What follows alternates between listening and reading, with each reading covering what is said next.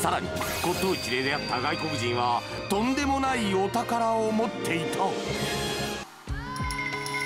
う一人達人が集まる骨董市で不思議な行動をしている男性がいた。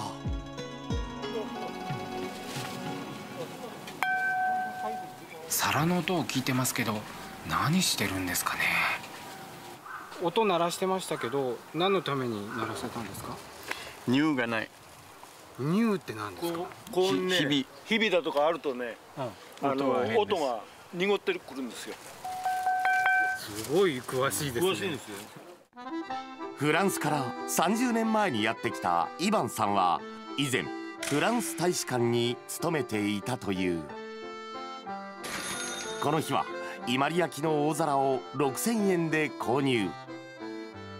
隣にいるのは日本人の妻晴美さん昔から骨董に奥さんも興味があったんですか？いえ私は主人の影響で。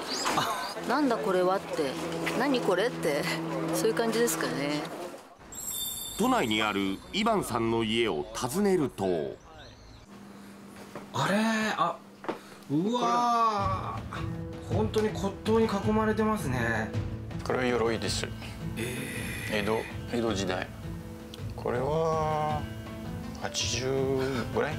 これは大正時代。これはこれも80万ぐらいですね。この他にもキセルや昭和初期のハンガーさらに明治時代の伊万里焼などリビングには100点以上の骨董が飾られていた。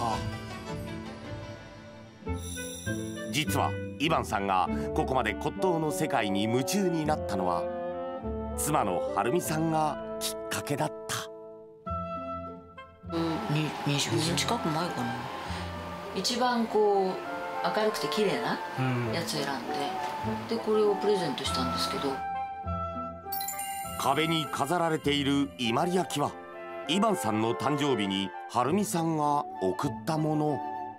その時に全然伊万里は興味は伊万里とか時期のことを初期とか全然興味はなかったんです。じゃあ奥さんが火をつけたんじゃないですかその結果イバンさんは伊万里焼の専門書を出版するほどのマニアに。それだけではない。うわすごい。何ですかこれ。お店です。お店なんですね。なんと月が高じて自宅で骨董店をオープン14年前から始めて今では扱う骨董品は1000点以上にその総額は？うんちっちゃなうちくらいだったら買えてんじゃないですかね。そうだね。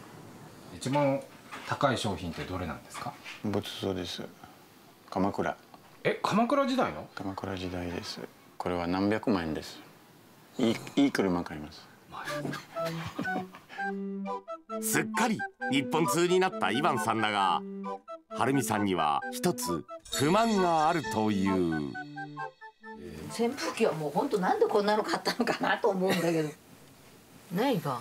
そうね、うん、動くんだから。動くからっつっても。仏像を見ながらこれ買う人っていないと思うんですよね50年前の扇風機は1万8000円。売れないと分かっていてもイヴァンさんにとってはこれもお宝でもまあそんなイヴァンさんが奥様は。